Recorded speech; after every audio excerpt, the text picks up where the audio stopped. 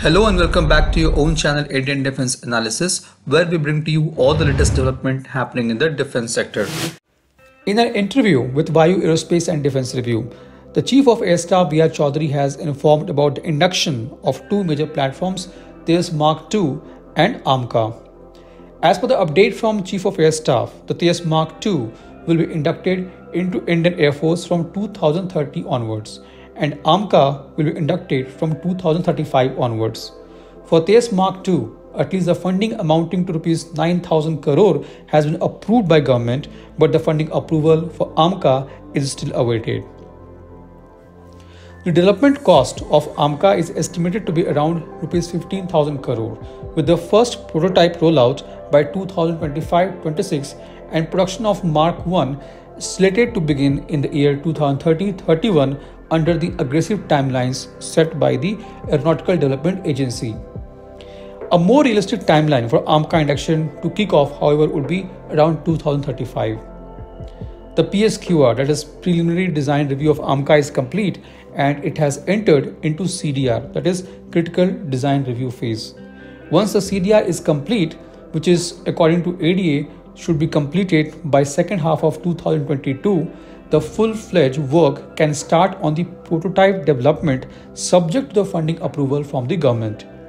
In summary, Indian Air Force will have to wait minimum 8 years to get indigenous and much capable 4.5th generation fighter which is LCA Mark II and 13 years for 5th generation indigenous fighter AMCA.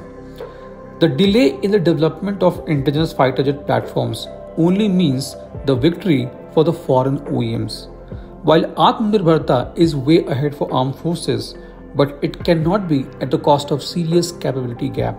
China is inducting its latest J-20 fighter jet, which is not exactly a fifth generation fighter, but still a very potent platform. Its second fifth generation fighter jet, FC-31, is set to enter service shortly. The Chinese Air Force had a fleet of more than 50 J-20 jets in 2021. In next one decade, China will greatly enhance the capability of J-20 as they have now a platform for the next generation fighter. On contrary, Indian Air Force has no other option at present and the situation remains the same for next one decade. Now considering this capability gap, it does make sense to procure the 5th generation fighter jet from a foreign OEM. On 4th October, even Chief of Air Staff has mentioned that Indian Air Force is looking for 4.5th and 5th generation fighter jet via MRFA program. At present, none of the contenders which are part of MRFA has 5th generation fighter jet in the offering. The only true 5th generation fighter jet is F-35 and F-22. Since F-22 Raptor has not been approved by US government for export, the only 5th generation fighter which Indian Air Force can procure is F-35. This year, the US House of Representatives had also passed a legislative amendment as part of National Defense Authorization Act.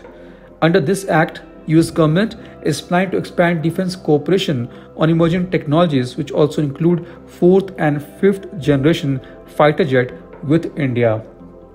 However, F-35 is not yet an official contender for MRFA. At present, the Air Staff Qualitative Requirement, that is ASQR, is being finalized for MRFA program prior to seeking government approval.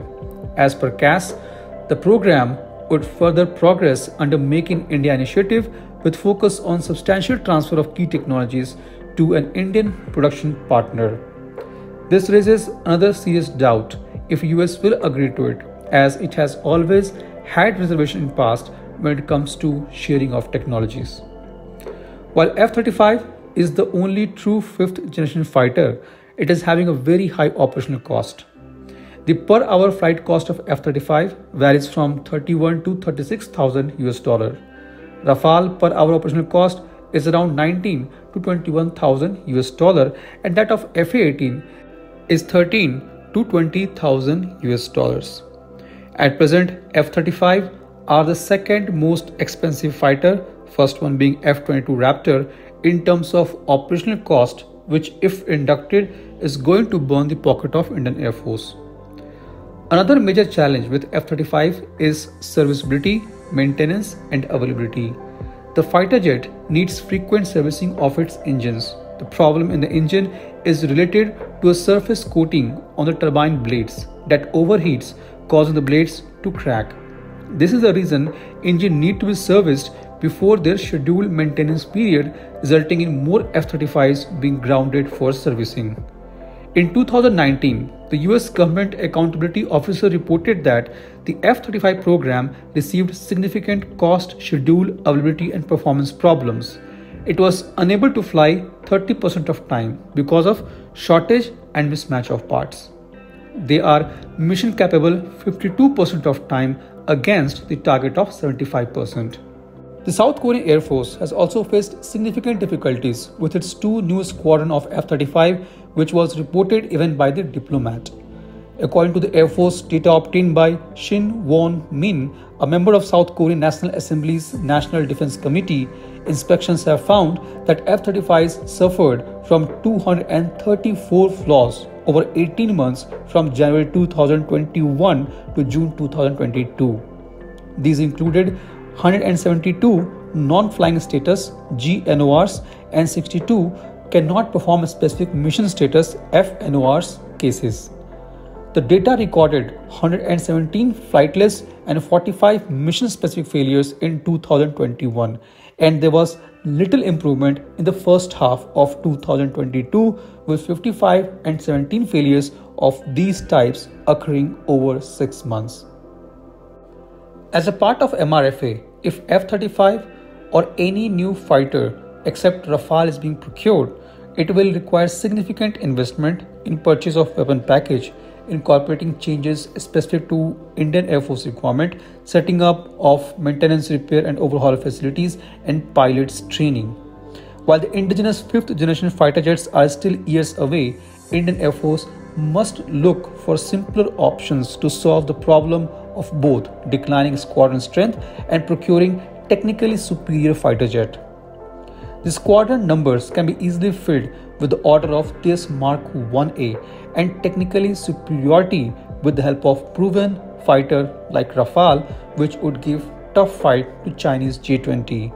The upgrade of Su-30 MKI will also keep the backbone of Air Force strong. This was today's update. Please let us know your views on this in comment section.